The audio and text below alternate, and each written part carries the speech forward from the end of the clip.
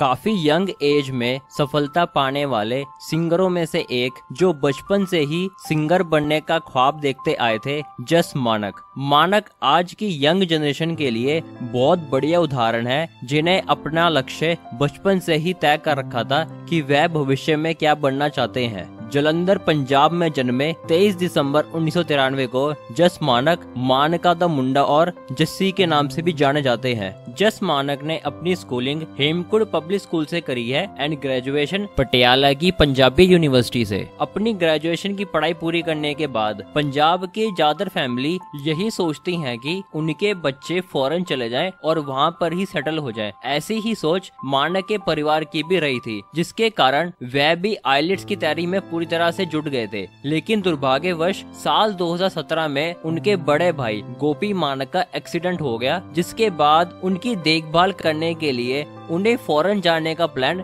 बीच में ही छोड़ना पड़ा। उनके बड़े भाई मानक की सिंगिंग को लेकर हमेशा से सपोर्ट करते आए थे।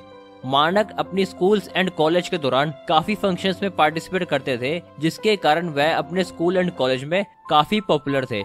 उनके काफ़ी दोस्तों ने उन्हें एडवाइस करा कि तुम्हें अपने खुद के सॉन्ग्स की वीडियो बनानी चाहिए, जिसके बाद अपने पहले सॉन्ग की वीडियो को रिलीज़ कराने के लिए उन्हें काफ़ी स्ट्रगल करना पड़ा, जिसके बाद बिल्कुल नई नई रिकॉर्ड लेवल बनी कंपनी गीत एम ने, जस मानक के साथ मिलकर मानक का पहला debut song U turn release करा लेकिन वह अपनी रीच बनाने में कामयाब नहीं हो सका, जिसके मानक हकदार थे। मानक को असल कामयाबी उनके ट्रैक प्रादा से मिली, जिससे वह अपनी पहचान बनाने में कामयाब हो सके। प्रादा सॉन्ग की पहले ऑडियो मानक ने रिलीज़ करी थी। सॉन्ग की ऑडियो ही इतनी ज़्यादा वायरल हुई कि उनकी ऑडियंस की डिमांड आनी शुरू हुई कि वह इसकी वीडियो भी बनाकर डाले। प्रादा की वीडियो डालते ही चंद घंटों में मिलियन व्यूज़ को क्रॉस कर गई।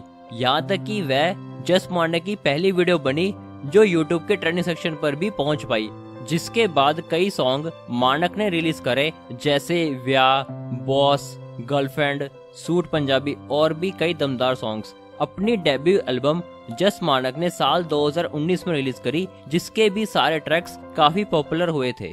जस मानक आज जिस भी गाने को अपनी आवाज़ दे देते हैं, वह बहुत जल्द वायरल हो जाता है। मानक एक अच्छे गायक के साथ साथ एक अच्छे गीतकार भी हैं। वह जब सिर्फ़ नौवीं क्लास में थे, तब से ही उन्होंने सॉन्ग्स लिखना शुरू कर दिया था। मानक अपने सारे सॉन्ग्स खुद ही लिखते हैं, लेकिन उन्होंने कई सॉन्ग्स अपने साथी कलाकारों के लिए भी लिखे हैं। जैसे करण रंधावा के लिए लिखा गया सॉन्ग वेट निशवान बुलर के लिए लिखा गया song California and Jassi Gill के लिए लिखा गया song Kala Surma and Jordan song Deep Jandu and रोज किला के लिए। मानक अपने ट्रैक प्रादा के लिए अवार्ड से भी सम्मानित करे गए थे।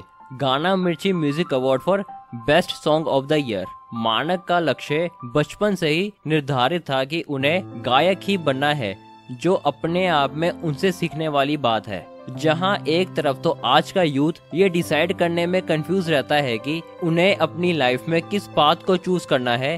वही जस मानक थे, जिन्होंने सिर्फ़ नौवीं क्लास से ही गाने लिखना शुरू कर दिया था। स्कूल के फ़ंक्शंस में तो वह परफॉर्म करते ही आए थे। जस मानक ने अपना नाम पंजाबी म्यूज़िक इंडस्ट्री में अपनी मेहनत से बनाया है। वह आज जिस भी मुकाम पर है, सिर्फ़ अपने खुद के दम पर। वीडियो को अंत तक देखने के लिए आपका धन्यवाद। वीडियो को लाइक एंड शेयर ज़रूर करिएगा। एंड प्लीज़ प्लीज़ चैनल को सब्सक्राइब भी ज़रूर करिएगा।